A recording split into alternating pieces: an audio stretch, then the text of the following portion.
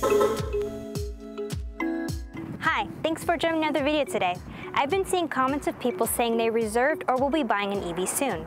So then you may be thinking, okay, now what? What's next? What should I do to prepare? Today I will be talking about some points that may be helpful. If you want a more in-depth and detailed video about EV basics and how they work, I suggest you check out my EV 101s video where I talk about charging connectors, levels of charging, and other useful pieces of information for new owners. Today I wanted to suggest some broader next steps and if you're like me, you're probably anxiously waiting for your car and watching YouTube videos to feed that excitement.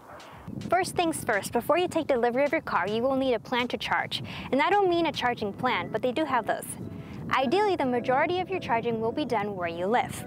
If you're in a home, you will want to look at installing a 240 volt outlet or a wall charger.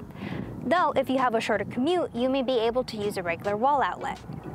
Just know that charging off a regular outlet can be a bit slow. You'll get about 30 to 40 miles overnight. You should also check what charging connectors your vehicle comes with. You may need to get an adapter to fit your needs. If you plan on installing a wall-mounted charger, there are a few options you may want to look at. For example, some auto manufacturers have their own they suggest using, but you're not required to get that specific charger. For Tesla vehicles, the wall connector is the best option for charging at home, but the included mobile adapter is also a very good option. For other EVs, wall-mounted chargers from Clipper Creek, Siemens, ChargePoint, and JuiceBox are great options. You may be lucky enough to have workplace chargers on site or some nearby within a walkable distance. They're not necessary, but always a perk if they exist. If you live in an apartment, you have options as well. Just make sure to plan ahead. Like I said earlier, you can charge off a level 1 outlet if there is one available to use, though it's slow. It may be sufficient for your daily commutes. If that is not an option, then public chargers will be your next step. See which chargers are available around you and you can plan your grocery trips or errands around your charging times. If you're inclined, you can request for a charger to be installed at your apartment. ChargePoint has a process and flyer you can give your property manager to consider adding chargers. If you're as eager as I was when reserving my EV, have you refreshed your car reservation page today? Nope, no VIN or date or delivery. Okay, let's continue.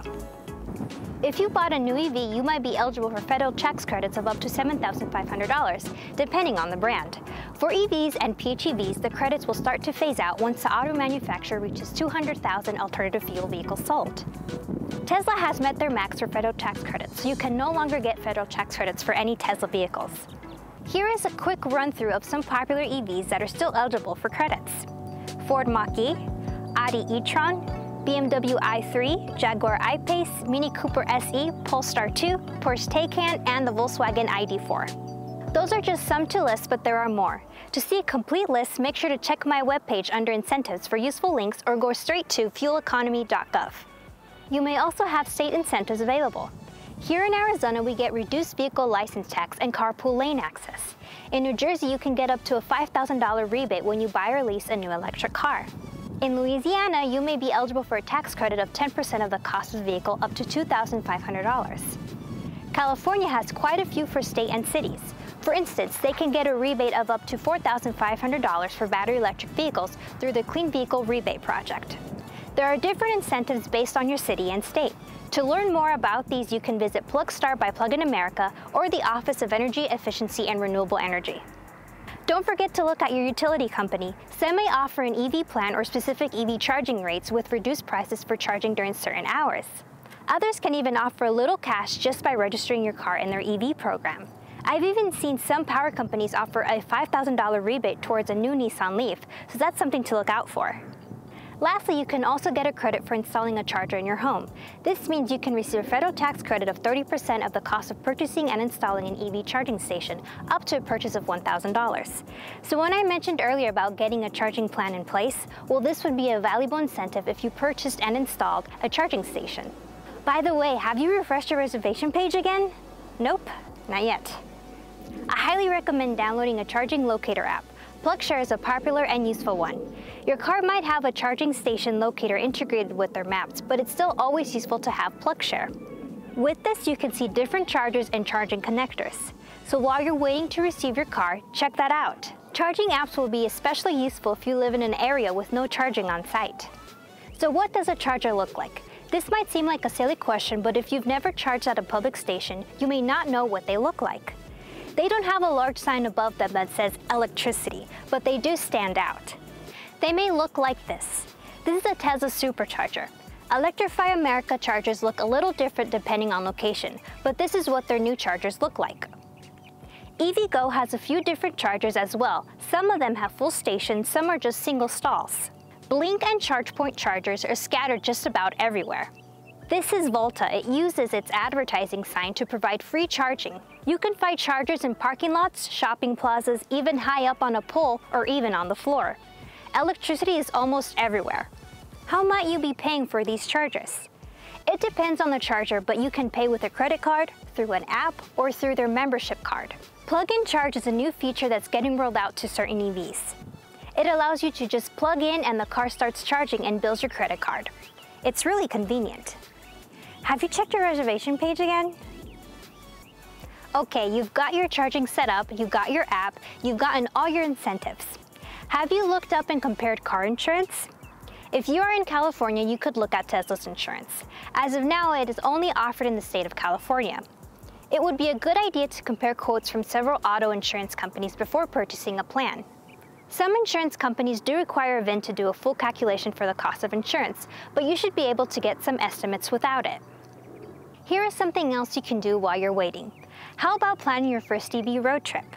There are several resources and apps you can use to plan a route, like a better route planner. Once you're comfortable with your car, you'll want to take it out for a trip, of course. You should see which hotels offer charging, though it's not necessary it's convenient to have nearby. There are even some that offer free charging for their guests. You might have purchased some accessories for your new vehicle, but here are a few that I suggest. Again, not something that is required, but items that may be beneficial. Many EVs do not come with a spare tire, since not having one reduces the weight and it also cuts down on costs. As a result, you may want to invest in a tire repair kit. These are always useful for any vehicle. The other item is a set of jack pads, which look kind of like hockey pucks. Tire shops may have these already and you will probably have to request them to use them. I like keeping a set in handy just in case they don't have any to use. These jack pads protect the car's battery from damage when the car is lifted. For example, this is a Model 3 and this image references the spots it's safe to lift the car from. Lastly, if offered, you can purchase additional charge adapters if you want more options for charging on the go. So you've done all your research, you're ready for your EV, but it's still saying you are still two to three weeks or longer to get your car. I've got some final useless yet time-filling activities you can do to make time go faster. You can always snoop around the dealerships to see if you see your car, but they probably wouldn't like that very much. Hmm, Calla, do you see our car? Is that our car? No. That could be our car. Hmm. Ooh, I like that car. Nissan. Calla, do you see any leaves here? Toyota. Hmm, maybe soon. Look, Calla, there's Hyundai. See any Konas? When you're out and about, you'll notice all the outlets where you can charge from, but make sure you get permission first before plugging in anywhere. Like by this tree. Can I charge here? Hello? Can I charge here?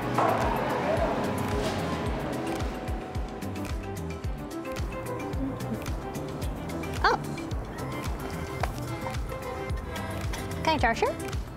Hopefully by now you've test driven your EV, but maybe you just want to test drive it again because why not?